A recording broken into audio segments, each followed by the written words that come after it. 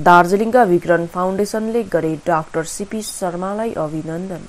Doctor CP शर्मालाई आज दार्जिलिङमा एउटा भेटघाटको समय विक्रन फाउन्डेसनका संस्थापक सदस्य विक्रम राईको नेतृत्वमा अभिनन्दन गरियो। डाक्टर सिपी शर्मा सिलिगुडी स्थित निवेदिता नर्सिङ होमका संस्थापक हुन्। भेटघाट समय फाउन्डेसनका डाक्टर दावा मनोज गुरुङ अनि अन्य उपस्थित रहेका थिए।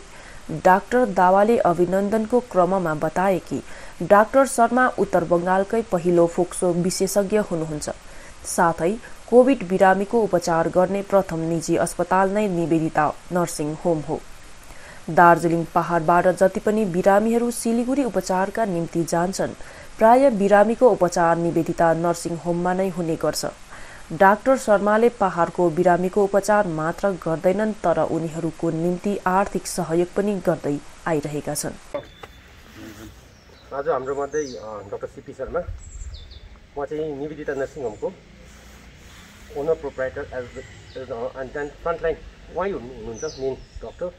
He is in fact the first pulmonologist in whole of North Bengal Nivedita hospital उहाँले सुरु गर्नुभएको।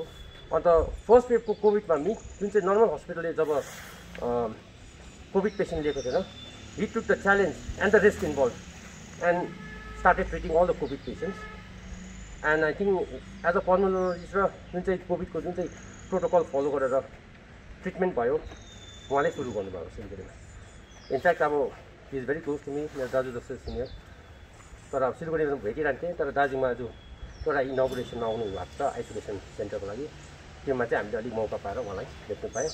At the same time I would like to thank on behalf the whole people of Darjeeling किनभने दार्जिलिङको जति पेसेन्टहरू सिलगढीमा जाँदैछ first hospital that comes to mind is Nivedita त्यसले गर्दा आज उहाँलाई thank you on behalf of people of Darjeeling and me as a doctor fraternity किनभने हाम्रो पेसेन्टहरूलाई पठाउँदाखेरि उहाँले फिडब्याक दिएर माने पेसेन्ट कस्तो छ बेडहरूमा पनि प्रब्लम हुँदाखेरि अन्त कतिवटा ड्रेसमा पनि डिस्काउन्टहरू गरेर has been helping us a lot on that behalf I would just want to thank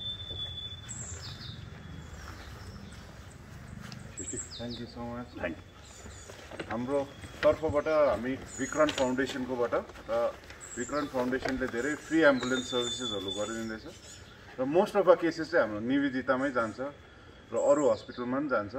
हिजो राति पनि हामीले एउटा निवेदितामा नर्थ पोइन्ट आइसोलेसन सेन्टरबाट लानु पऱ्यो बिकज अलिक क्रिटिकल भएर र हामीले कहिले भेट्नु पाएको थिएन र उहाँको काम मात्रै सुन्नु र उहाँको हस्पिटल मात्रै सुन्नु पाएको थियो।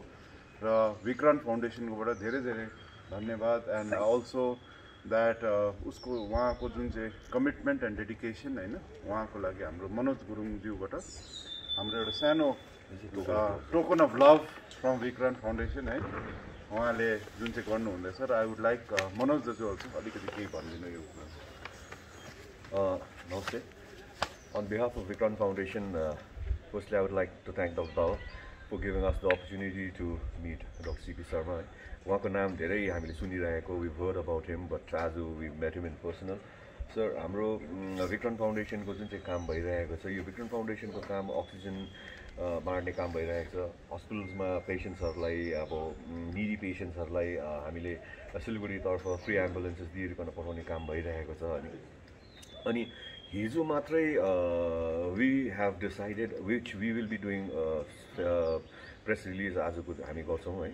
जति पनि कोभिड भएर बितेको मान्छेहरू छ जो बिपिएल विपन्न फ्यामिलीको परिवारहरू छ उहाँको अन्तिम संस्कार उहाँको अन्तिम दाह संस्कार पनि अब विक्रम फाउन्डेसनले नै लिने भएको छ। र त्यो हाम्रो नयाँ कार्य छ र आज तपाईँको समक्षमा यो नयाँ कार्य पनि हामीले विक्रम फाउन्डेसनको अगाडि पुऱ्याउनु पायौँ र सर तपाईँलाई धेरै धेरै धन्यवाद। So thank you so much, and we hope uh, you support Vikrant Foundation in the future also. So thank you so much. त्यो रोकेर सरको इन्टरभ्यू ट्रिटमेन्ट थालेको मे टु थाउजन्ड ट्वेन्टीदेखि हो। त्यतिखेर people are scared of COVID all doctors are scared in fact even ओपिडीहरू बन्द गर्थ्यो।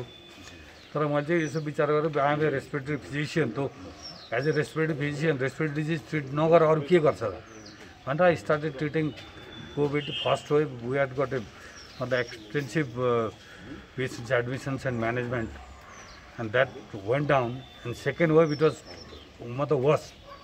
Main difference first or second wave, ma second wave, the younger people were involved more, and main working load, they were basically